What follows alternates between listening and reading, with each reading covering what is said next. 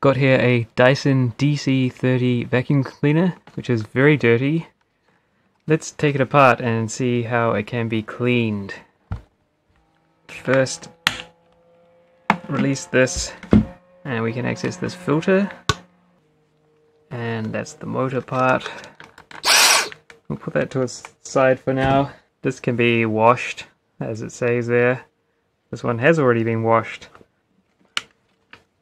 Now to get this apart, you release the bottom catch, which is what you normally do for emptying it.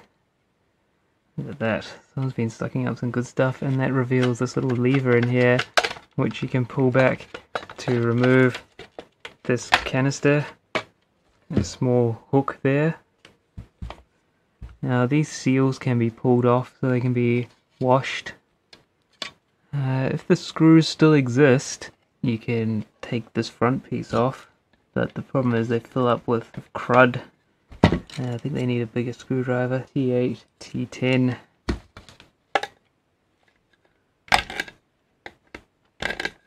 Too much crust down there, I can't even tell if the screw's in there. One of them's come out. Yeah.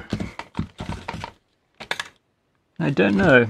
So to remove these seals, you can just pull pull them off, and then you can get in there and clean them out, give them a good scrub, and then push them back in.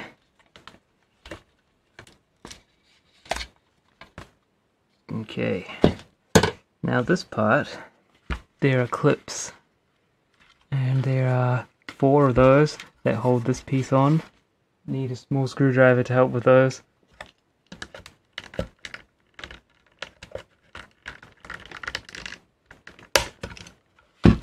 Wow, look at all the crust that's in there. So that's got a, a plastic rim around there which is supposed to seal against the inside edge here. Now that's just all caked in dirt all around the little nozzle thingies. Now the next part is this comes off and there are three clips holding that which are these and there's a little flat part there where you can get a screwdriver in to release them. And it's quite tricky because it's retained by the edge of these cyclone things are pressed through so it, it doesn't tilt side to side very easily.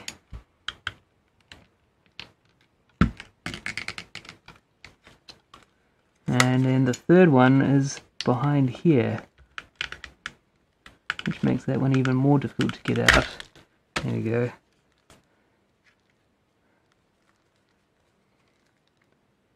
Wow. Definitely needs a clean. Don't need that anymore. Now we get the T10. And there's a whole bunch of screws down there you can undo. And then a final screw on the end here. But that's the smaller one again, T8. That's a long black color screw.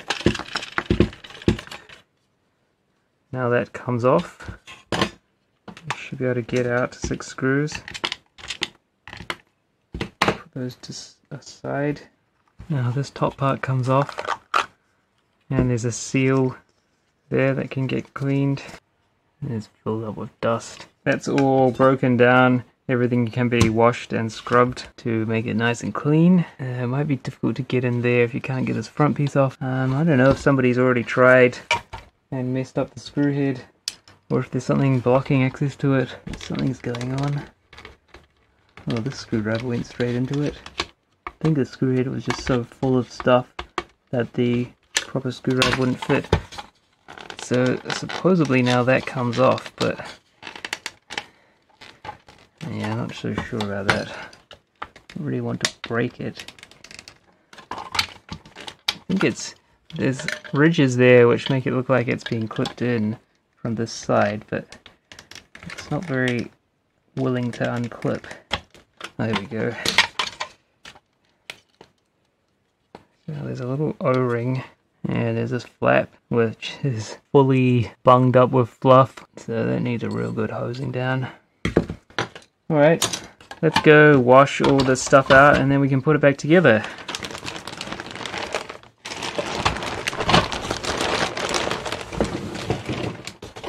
Okay, so it's all washed. Let's put it back together.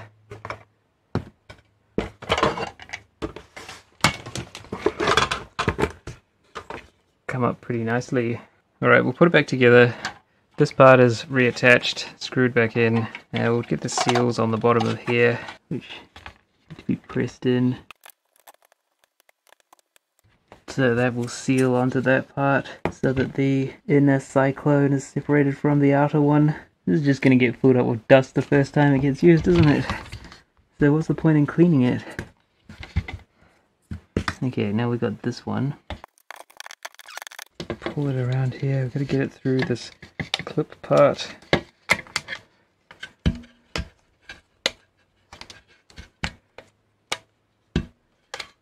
Under there. It needs to be rotated slightly.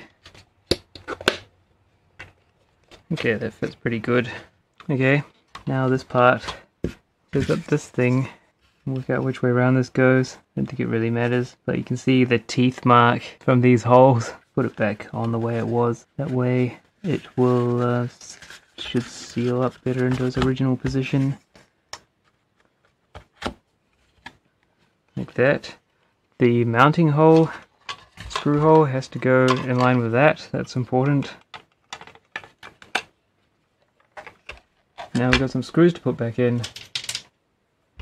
T10 for these.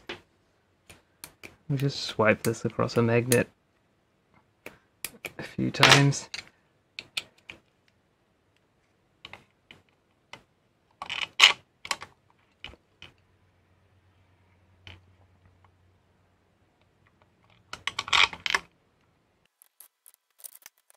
Okay, so we get that lined up again the screw hole on the back.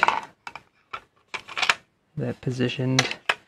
And then we'll do up the screws and we'll do them back back until they click into position before tightening them so that they ride in the same track that they came out of. So we're not cutting a new thread in the plastic.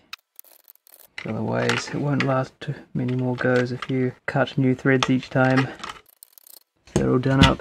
Now we've got this one in the back T8 same deal. Wait for the click and then tighten. Okay, now we'll put this thing back on.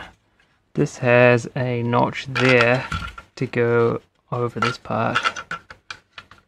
So we'll push that down till it clicks. And then this part, I don't know if that has a way around. It's got a notch there, but it's otherwise fully symmetric as far as I know. I don't know, I'll put the line towards that. Maybe I should have looked at that first. It snapped into position without any problems.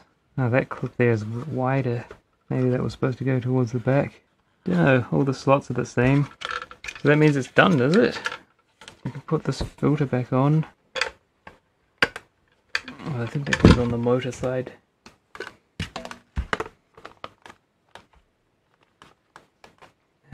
Put that into here. Open the dust collector and then that hooks on and clicks into position.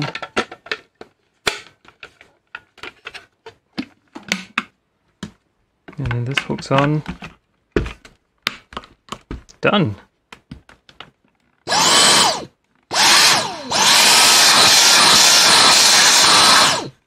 Not bad. Let's take apart the motor and have a look at it. That's what we really came here for, wasn't it? We don't want a vacuum cleaner, we want to look inside things. So I had one screw there, which I took out. Now, we've got to get a whole bunch of clips around here undone, and I'm not really sure how we can do that without damaging them.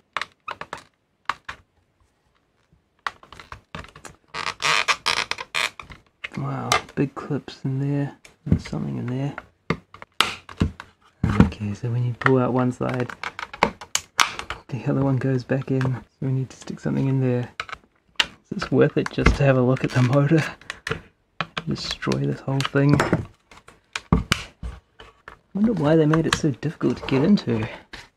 Not very good for servicing or recycling, is it? Yeah, I don't know about this. Maybe just look at other people's videos on how to, of what's inside it. Somehow they got it open. There we go, look at that. Wow, big clips. Look at that, we did it. Mostly. That. Wow.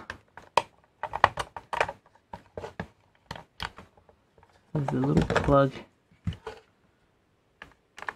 There's a hand crust in there. Some of my sweaty hands must have been touching this thing. Yeah. There's a power switch and then there's the battery.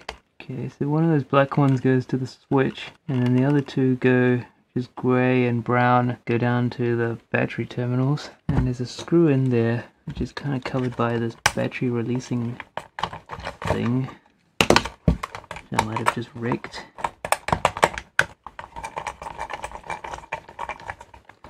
If this comes out? So there is another switch there. So there must be wires going in down there for it. Okay, so you have to get this part out before the battery terminal part will come out. Just another switch. Yeah, terminals are still stuck. I don't know. There's probably no reason to take those out anyway. I just wanted to run this with without the cover on it, just for fun.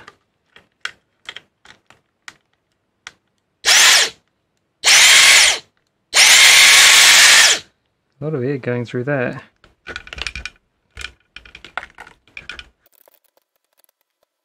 There you go, a little jet engine thing.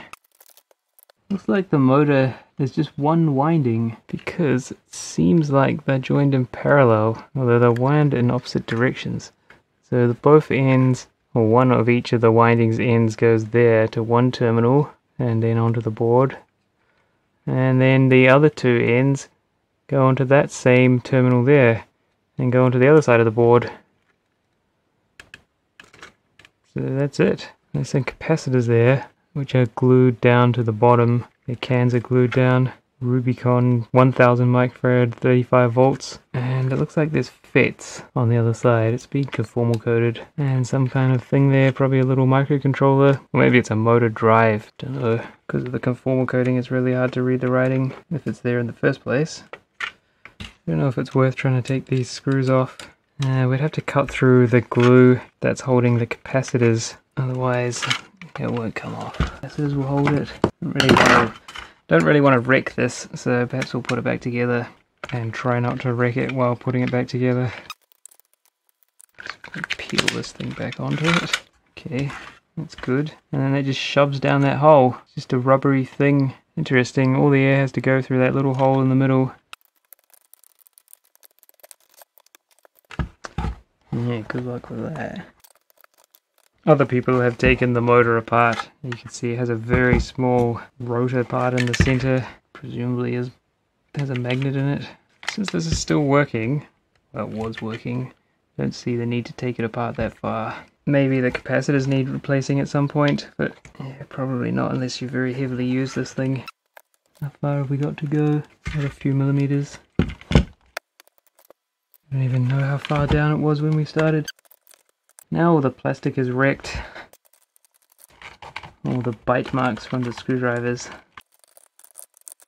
Why is it such a long screw? Just for the little tiny bit that's holding down the switch. That's weird. Then there's this bottom switch so that it won't turn on if you don't have the canister thing installed. There's tracks for the wires to go in. Is it gone in the right place? Nobody knows. No, it's not gone in the right place. Are the wires in the right place? Probably not. Okay, there's back in. The battery fits. We haven't wrecked it yet. Now this thing, the battery releasing button. Whoever had this before me must have had very dirty hands when they were using it. There's this crust all over everything. Okay, we'll try and get this battery release button back. There we go. And there's little notches for these wires to go through. Now, does this have to go down any further? Probably does. I'm gonna have to find a way of cleaning up all this stuff that got messed up severely so that it's just flat again. Then it won't feel sharp. Do the same along this thing. Okay, and what about here? Yeah, maybe we should have done this before we put the wires back in. Find a way of holding this so we can get the blade angle right. Quite big chunks there.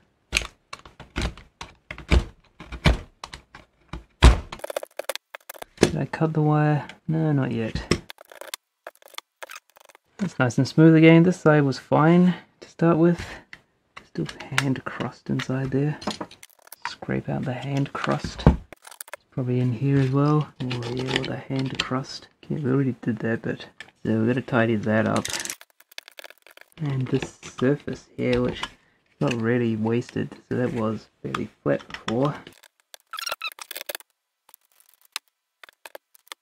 Okay, I think that's good enough. Now what I don't know yet is, is, is this far enough in? Why don't we just look at another one? Here is another one. Paste always have a few of these lying around. So that seal is pushed right up against the front of that opening there. Which is not the case with this one. It's in. So I think that means we've got to push it in more. push it around the edges and rock it in. Hey, it's coming through now. Pretty much the same now.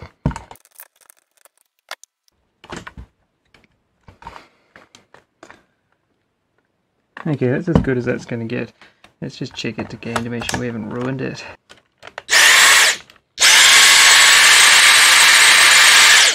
That's still good. Mm, maybe we should have the battery in when we put this back together so that it's holding this button in the nice position. So let's put the back on and then never take it off again hopefully. It's not easy to get off. So clips in, clips in there first. And we've got to plug the wire in, don't forget that. it would be very sad if we didn't plug that in for the little light there on the top light works. Now we push this back together somehow. Probably going to need a lot of force on it.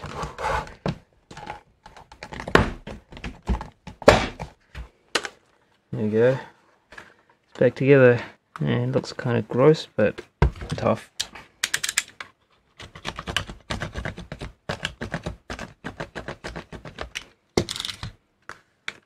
We can put that screw back in.